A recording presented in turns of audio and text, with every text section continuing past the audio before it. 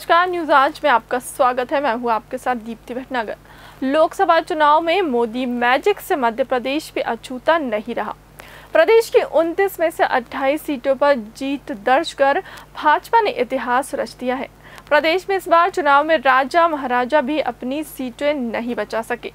चुनाव के नतीजे से भाजपा में उत्साह की लहर तो वहीं कांग्रेस कार्यालय में सन्नाटा छाया हुआ है। प्रदेश में चार चरणों में संपन्न हुए लोकसभा चुनाव के लिए मतगणना का कार्य सुबह से शुरू हुआ और किसी के साथ रुझान भाजपा के पक्ष में जाना शुरू हो गया। कड़ी सुरक्षा व्यवस्था के बीच हुई मतगणना में भाजपा पिछले चुनाव से बेहतर प्रदर्शन करती नज़र आई। हाल ही में विधानसभा चुनाव हार चुकी भाजपा ने लोकसभा चुनाव में भरपाई कर ली।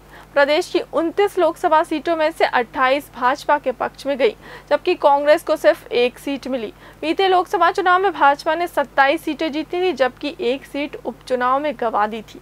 मतगणना के रुझान के नतीजों में बदलने के साथ भाजपा में जश्न का माहौल बन गया।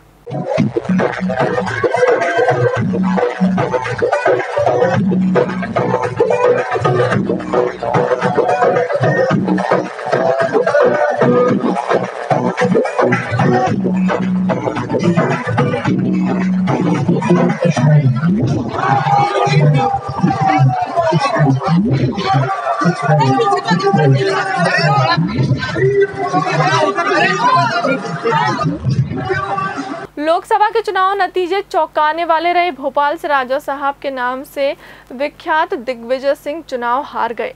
वहीं गुना शिवपुरी लोकसभा सीट से कांग्रेस महासचिव ज्योतिरादित्य सिंधिया को भी हार का सामना करना पड़ा।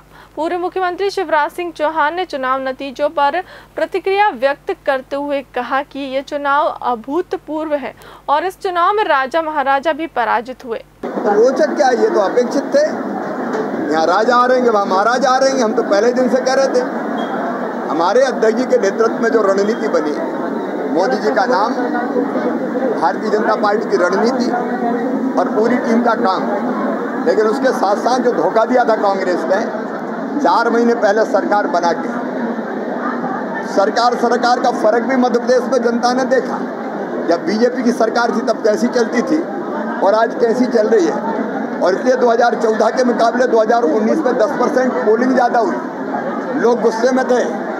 मोदी जी के प्रति श्रद्धा प्रेम आस्था विश्वास और इस कांग्रेस की सरकार के खिलाफ गुस्सा और भाजपा की सरकार जाने की तकलीफ़। तो लोग ये कहते थे कि लोकसभा के चुनाव में मय ब्याज के निकाल देंगे तो राजा भी निपट गए महाराजा भी निपट गए कुछ महीने पहले विधानसभा चुनाव में जीत हासिल करने के बाद कांग्रेस कार्यालय में चहल पहल बढ़ गई थी। लेकिन लोकसभा चुनाव के नतीजे के साथ पार्टी कार्यालय में सन्नाटा छा गया। हालात यह भी है कि चुनाव नतीजों पर प्रतिक्रिया देने के लिए कोई भी पदाधिकारी यहाँ मौजूद नहीं था। भोपाल से संजय चतुर्वेदी की रिपोर्ट, न्यूज़ आज। फ़िलहाल के लिए मुझे दी इजाज़त। आप बने रहे न्यूज़ आज के साथ।